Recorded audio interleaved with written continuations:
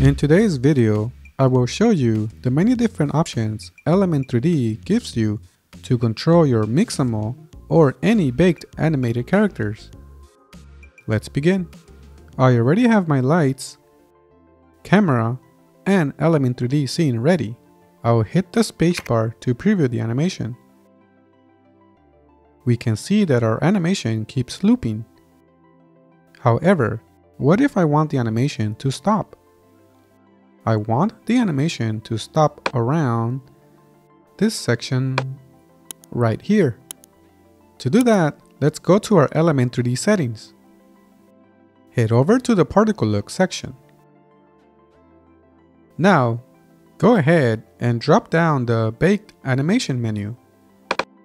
You will see all these new controls. If you focus to the Loop Mode section, this here controls your animations.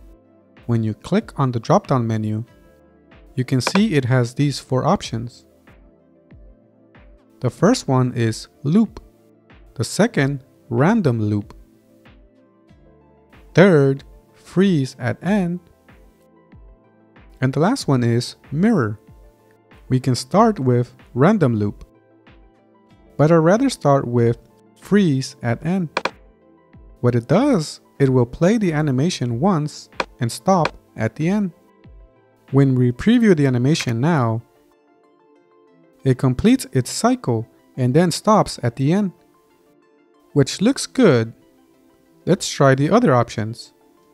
I'll navigate back to the loop mode settings and this time I'll select the mirror option. The mirror option plays forward and then reverses continuously which could be suitable for objects like bouncing balls. Next, I'll return to the loop mode and choose the random loop option. This setting selects random points in time to start from and plays continuously from beginning to end. You'll notice that the first frame shows the 3D character animation starting at a few frames offset displaying it in a different pose.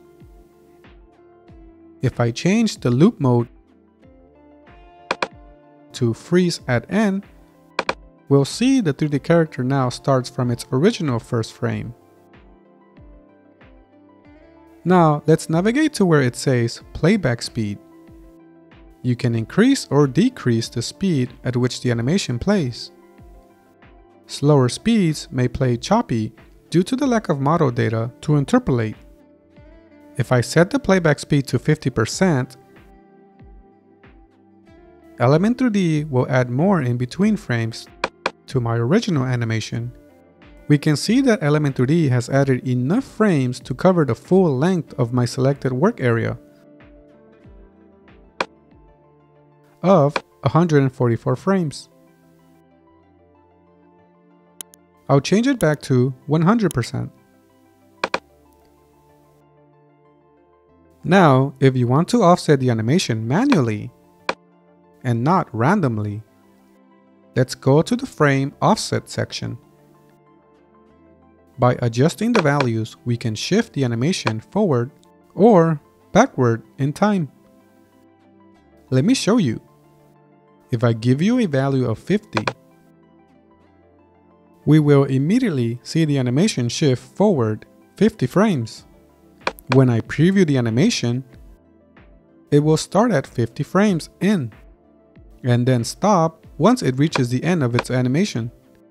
Okay, I'll reset it back to zero. Underneath it, you will see frame offset random.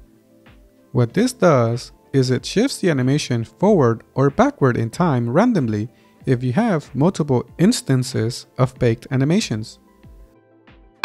I'll give it the value of 50 and you can see our starting animation frame shifts. I'll reset its value to 0. The random seed section generates a new random frame offset scenario. Okay, I only want my baked animation to stop at the end of its movements and not loop. So I'll make sure the loop mode is set to freeze at end. And that's it. I'll switch to my second camera and preview my scene. And there you have it. You now know the many different options Element 3D gives you to control your Mixamo or any baked animated characters. If you found this video helpful, please leave a like and subscribe to the channel. Don't forget to visit the tutosdigital.com website for new free content. Until the next one.